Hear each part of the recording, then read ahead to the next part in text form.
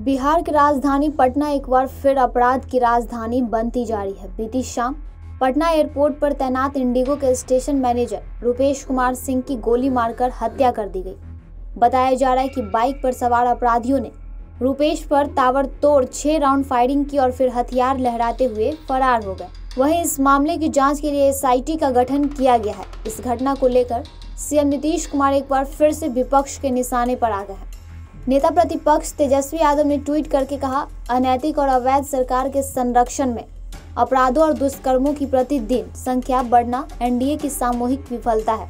साथ ही उन्होंने कहा कि नीतीश जी द्वारा अपराधों को छिपाने की चेष्टा और उसे स्वीकार नहीं करना ही सबसे बड़ा अपराध और अपराधियों के लिए रामबान है।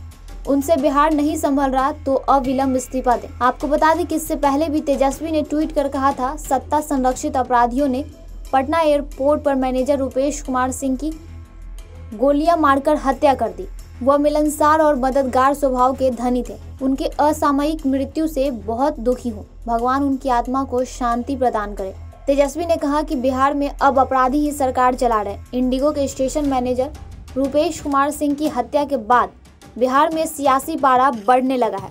वहीं इस घटना पर पप्पू यादव ने सीबीआई जाँच की मांग की तो बीजेपी के सांसद विवेक ठाकुर ने अपनी ही सरकार पर सवाल उठाए। Rupesh Singh IndiGo Bihar station head के जो अभी हत्या हुई है ये एक बहुत ही गंभीर चिंता का विषय है। जिस व्यक्ति की कोई अप, आपराधिक पृष्ठभूमि न हो और उसको 10 से 15 गोली मारा जाए ये एक बहुत ही बड़ा प्रश्नवाचक चिन्ह खड़ा करता है बिहार के नवगठित एनडीए सरकार पर।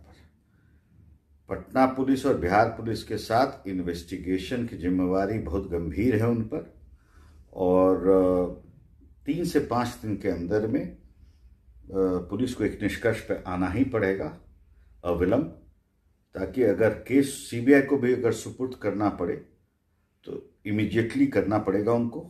ताकि ऐसा नहीं कि केस इतना घिसा पिटा हो जाए कि निष्कर्ष पे कोई संस्था पहुँच नहीं